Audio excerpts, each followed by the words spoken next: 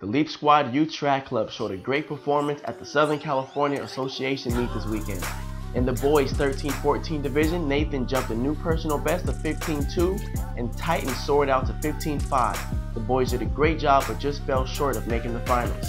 In the girls 11-12 division, Amaya on her third attempt leaps out to 13-1. Maddie on her second attempt leaps out to 13-7 in the finals, she improved her personal best to 14.5, placing 7th overall and advancing to regionals. In the girls 13-14 division, Dami earned a spot in the finals by leaping 15.4, and on her 5th round attempt, she improved her mark to 16.3, taking 3rd overall, also advancing to regionals. Great job! For more information on the Leap Squad, visit KeinanBriggs.com.